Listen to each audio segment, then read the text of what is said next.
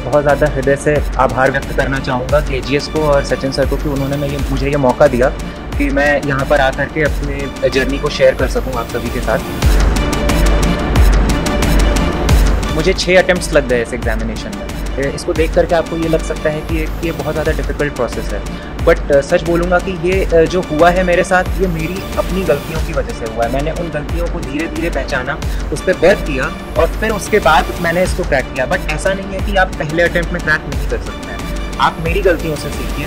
आप तमाम लोग जिन्होंने तीसरे, चौथे, पाँचवें, छठे अटैम्प्ट में किया है उनकी गलतियों से सीखें और हतोत्साहित बिल्कुल भी ना हो।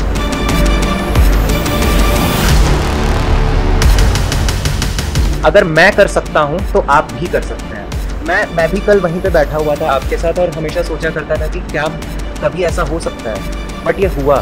सपने सच होते हैं और आपके भी होंगे। So just stay there and have a lot of faith in yourself in your god in your parents और आगे बढ़ते रहिए।